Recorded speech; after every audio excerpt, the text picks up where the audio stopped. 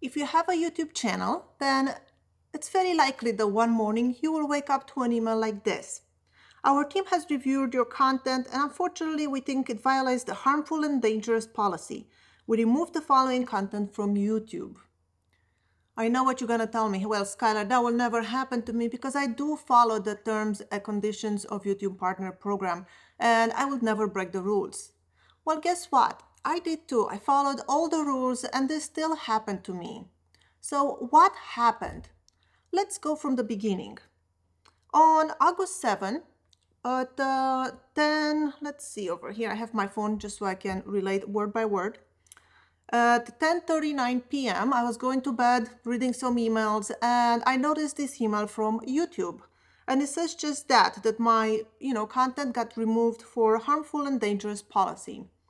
Now, my first reaction was, of course, burst into laughter. My content being harmful and dangerous. I mean, we added hummingbird photos and, you know, just this is a photography channel. There's nothing dangerous or harmful about it. So I, you know, the email goes a little long and then at the bottom of the email, you know, I'm reading through it and at the bottom of it, it says review your content with our policies in mind. If after reviewing your content you think we made a mistake, let us know. You can appeal the decision here. So there's a link where you can just click on it to appeal the decision. So of course, that's what I did. Immediately, I clicked on the link and I didn't know how to appeal a, you know, warning like this. So I just said something along the lines of, um, I don't know what happened. Uh, my content got tagged as dangerous and harmful. Oh, this is definitely not the case. Can please take a look at it? And, you know, just on, on and on and on trying to explain the situation.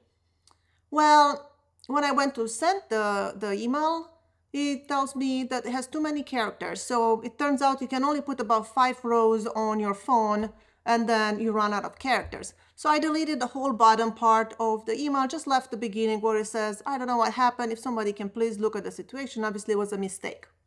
So I sent it. Now, as soon as I send the email, you know how, you know how when you send an email and you, by mistake, you type in the email address wrong and it just bounces right back. Well, that's kind of what happened. I sent the email and within two minutes, I got an email back from YouTube.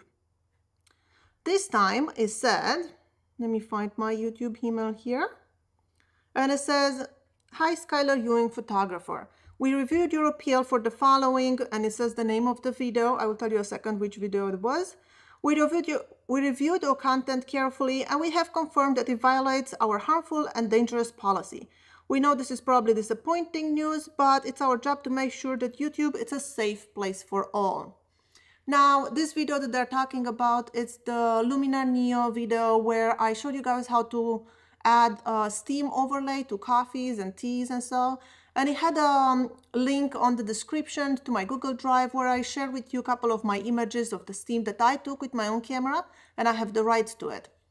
So my appeal got denied. Now it's, you know, it's late, it's 11 p.m. at this point. I'm in bed. I'm thinking, well, you know, I'll get to the bottom of this tomorrow. So the next day I wake up and I, you know, do some Googling, what's happening with these warnings. And also I wanted to see what is this dangerous and harmful policy because so I'm thinking before I take any kind of further action, I should probably go into YouTube partner program and look to that guideline of, you know, harmful and, harmful and dangerous policy to see maybe I am breaking it somehow and I just don't know it. So I went to YouTube help and I found the policy and this is what it says. If you're posting content, don't post content on YouTube that fits any of these descriptions noted below. Extremely dangerous challenges. Challenges that poses an imminent risk and physical injuries. That is not this channel, so I'm not worried about that. That cannot be it, right? Dangerous or threatening pranks. We do not do any pranks in here. That cannot be it. Instructions to kill or harm. This channel, it's a photography channel. We do not kill or harm. And then another one is hard drug of use or creation. No drugs on this channel. I am not worried about that. Eating disorders, none of that in here. Violent events, instructional theft or cheating, hacking. And then the very, very last one is this one. Bypassing payment for digital content or services, showing viewers how to use apps, websites, or other information technology to gain unauthorized access to audio content, audiovisual content, full video games, software, or streaming services that normally requires payment. So a light bulb goes out in my head. I'm like, oh my God, I have that link to my Google Drive. It probably got tagged as because, you know, the, even the title says like free download, but it was free download to the overlays. And I did some more Googling, found out that uh, Steam also is a gaming platform. So it's probably get tagged by, you know, something with the gaming platform and being free download and so on. So this is great news. Now I know exactly what I'm being accused of, so I can go and dispute it better. I, uh, you know, try to do some Googling on how to reach YouTube. I go to the computer. I finally found the help center and like the, you know, google.support.help, something like that. And I am presented with two options. I can chat with somebody and that I was the third one in line. I didn't know how long it will take. And then I could also send an email. Now, I was about ready to go take my kids to lunch, so I didn't really want to spend the time on waiting, and I figured it's a very simple case now. I know exactly what I'm being accused on.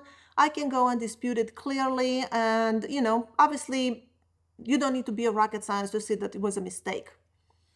So I start writing writing a email and I explain clearly that you know what the situation was and how this was not you know teaching people how to gain free access to you know things that they should pay for and I explained it as good as I could and sent the email.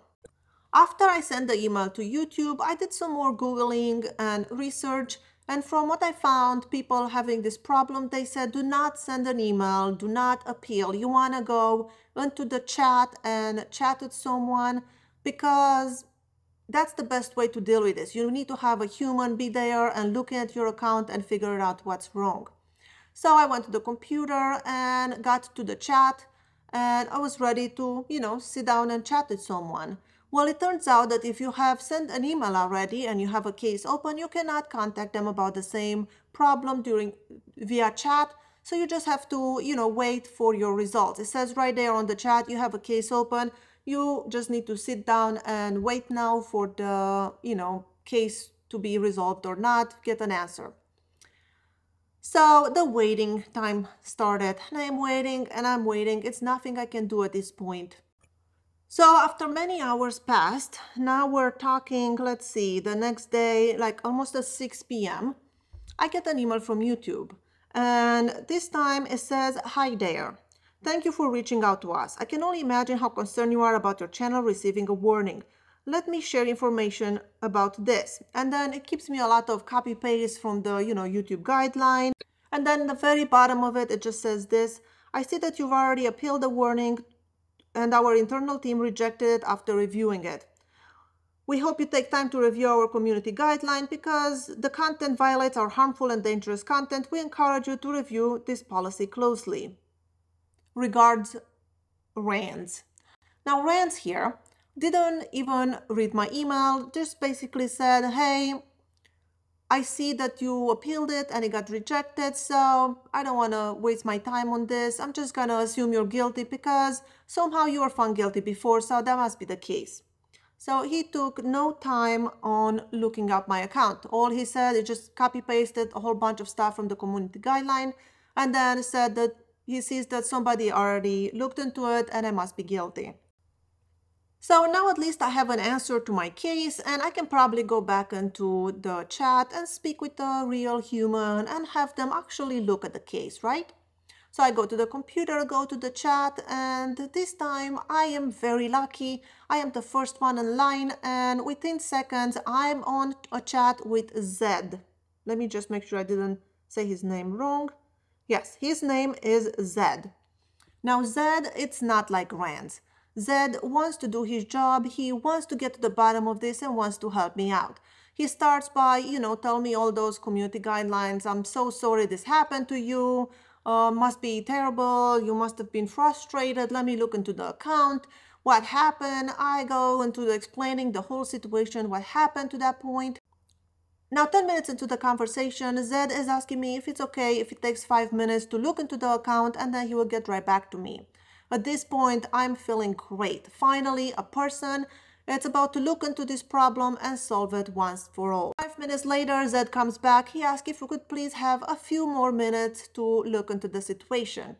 No problem. I'm here. I can be here all day. Please do look at the situation. I just want this matter to go away.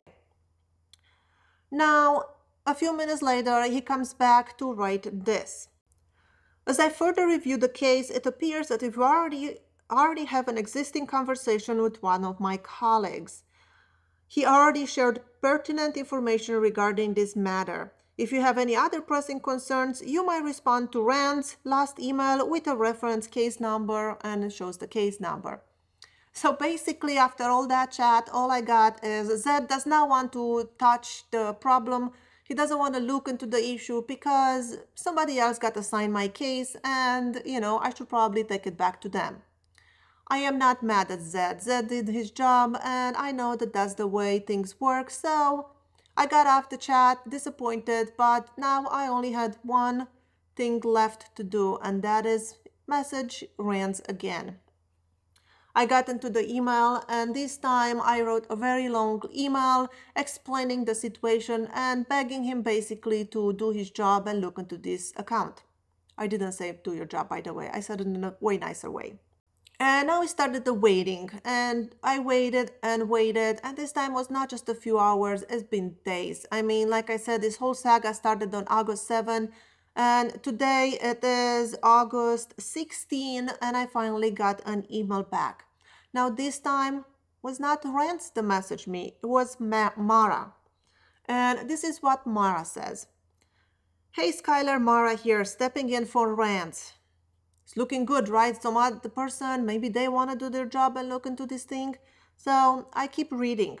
I understand that the decision of our internal team is not what you were hoping for. However, since you already made an appeal and the team reviewed your content, the decision is already final.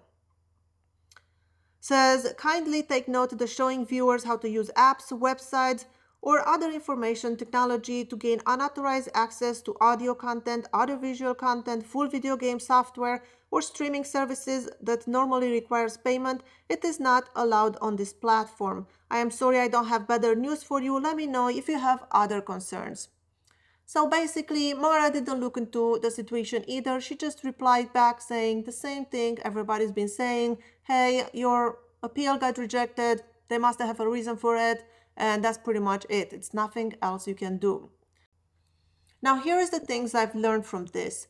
The first time you break the rules of YouTube, you get a warning. This is what I got. If this happens again, then you will get a strike. If uh, they consider that it's very dangerous what you're doing, your account could be terminated with just one strike only. If um, the, you know, strike is not considered that dangerous, then you can get one up to three strikes. When you get three strikes, your account will be terminated. If you get a strike, then you lose the privilege of uploading to YouTube for about a week. And then at the second strike, you cannot upload for two weeks. Now, here is the things that you should learn from my mistakes. If you ever find yourself getting a warning or a strike, do not click that appeal button. Do not do any of that. Wait for the next day, get on a chat and speak with a human being that can look into the account and see what the issue is and fix it for you. I made this, mistake. I was rushing to appeal it. I didn't think much of it. And now because my appeal was um, declined, nobody will look at the account and it's just considered that I broke the rules. And now I have a big sign that says warning on my account and I have to be careful not to get any strikes or my account will be terminated. Also, you should know you can only appeal once, so you cannot go and keep appealing a warning or a strike. And I think I might be wrong on this one, but you, you can look into it. I believe you can only appeal one strike per 60 days. So that's another thing you should consider. So what does that mean for my account? Well, I had to go back into all my tutorials and all my videos and I had to take down all the videos where it says free download, all the videos that I give you guys free assets like um, free overlays that for you to download and use Luminar Neo. I had another one with like how to add Sunflare and I gave you a free download for Sunflare that I made in Photoshop and I took down all of those videos. I think it were about six videos that I've gave you assets. And just because a mistake happened once and that doesn't mean it cannot happen again and I do not want to take the risk of getting flagged again and getting a strike.